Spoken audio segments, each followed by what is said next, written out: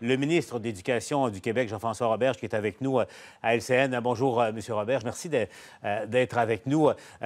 votre patron, lui aussi, lancé un appel aux enseignants, M. Roberge, que le report de la, de la rentrée scolaire ne veut pas dire la fin de l'année actuelle. Qu'est-ce que ça veut dire exactement pour vous, ça? Et là, on, retrouve enfin une situation où l'ensemble de nos enseignants dans la grande région de Montréal euh, ont toute la disponibilité pour euh, vraiment se concentrer sur l'accompagnement des élèves, l'aide aux familles, le suivi personnalisé, parce que depuis deux semaines, euh, beaucoup de, du personnel, beaucoup d'enseignants, beaucoup de directions d'école étaient mobilisés à essayer d'organiser les classes tant bien que mal pour accueillir les élèves au cas où on allait réouvrir à l'intérieur du Grand Montréal. Maintenant qu'on sait que c'est pas le cas, bien, je pense que tout le monde est disponible pour mhm. euh, finir en force. Il nous reste cinq semaines pour euh, accompagner nos jeunes et je pense que le message du Premier ministre est bien clair à ce sujet-là. Et votre message à vous, là, vous demandez une prestation de travail normale aux professeurs, aux enseignants, aux enseignantes. Qu'est-ce que ça veut dire exactement, euh, M. Roberge? Oui, bien, on, comprend que ça ne sera pas. Rien n'est normal en ce moment, mais euh, vous comprenez que c'est une prestation de travail pleine et entière. Au début de la pandémie, euh, souvent, on n'avait pas le matériel. Les, enseignants n'avaient pas pu récupérer leur cahier, leur manuel, leur guide du maître. maintenant, ils ont eu l'occasion de retourner mhm. en classe, récupérer tout ça. Ils ont leurs outils informatiques. Ensuite, bien, ils n'avaient pas nécessairement accès aux garderies. Ils ont accès aux garderies. Là, toutes les conditions sont là pour qu'il y ait une pleine disponibilité du personnel enseignant. Je sais que du point de vue des élèves, c'est pas l'idéal, on est à la maison, euh, on a des distractions. Mais moi, je lance un appel euh, aux ados, aux élèves aussi du primaire. Répondez quand vos enseignants vous appellent, prenez vos courriels, faites les travaux qu'on vous donne. Il nous reste cinq semaines pour consolider nos apprentissages. Et euh, c'est le temps en réalité, non pas de sauver l'année scolaire actuelle, mais de réussir nos acquis pour réussir l'an prochain.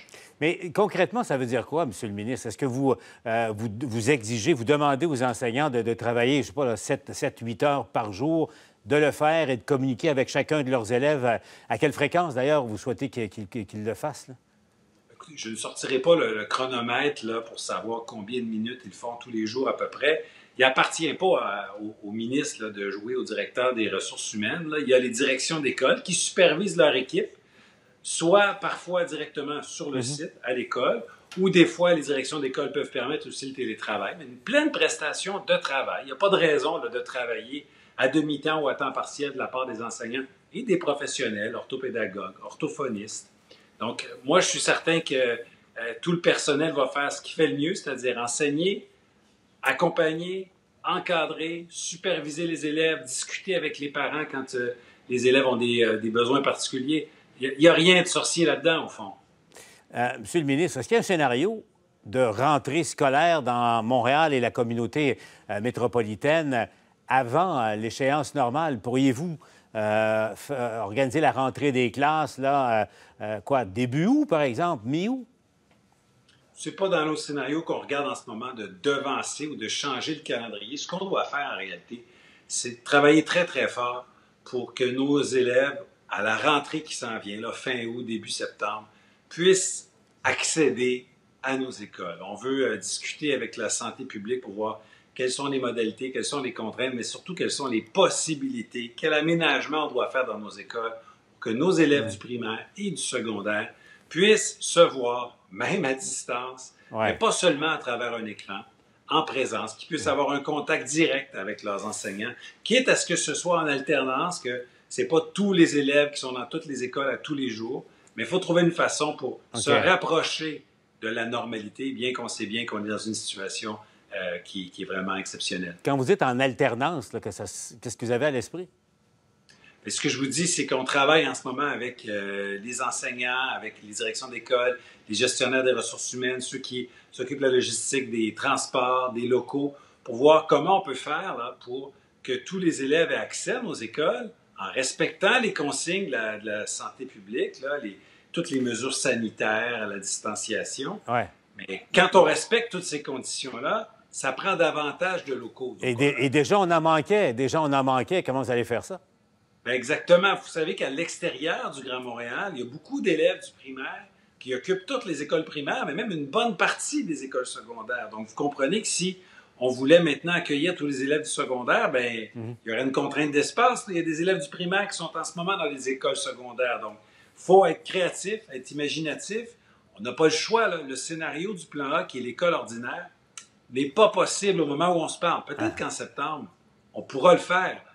Mais comme ce n'est pas possible en ce moment, on ne se laissera pas surprendre. On va travailler avec tous les partenaires, tous les professionnels, une série de possibilités pour surtout pas improviser au mois d'août, mais être bien préparé à toutes les éventualités. Et on va se laisser là-dessus, parce que je cherche à comprendre un peu le scénario. Au fond, si on dit qu'il y, aura la moitié des élèves normaux en classe, ça veut dire qu'on va avoir besoin de beaucoup de classes et déjà, on en manquait. Donc, vous allez chercher des volontaires pour des élèves qui, et des parents qui accepteraient de rester à la maison et de faire ça en, en téléenseignement, c'est bien ça? Mais là, vous êtes en train de me demander de mettre sur la table les scénarios qu'on est en train de concevoir. Donc, d'abord, y réfléchir, discuter avec les professionnels. J'ai des rendez-vous de prix déjà la semaine prochaine avec les gens de mon ministère, mais aussi euh, les enseignants. Ensuite, euh, on rendra public euh, les scénarios. Ce que je vous dis, c'est que ça ne m'intéresse pas, moi, une rentrée scolaire, puis de penser que de septembre à décembre, des élèves pourraient ne pas aller à l'école directement, de ne faire que de l'enseignement à distance c'est pas quelque chose qui m'intéresse. Donc, ce que je demande aux gens, c'est d'être créatifs pour nous préparer des scénarios qui impliquent la fréquentation de nos écoles. Jean-François Robert, je rappelle, les ministres de l'Éducation à suivre. Donc, la semaine prochaine, des discussions hein, sur les scénarios. On se reparle, Monsieur le ministre. Merci. Au revoir.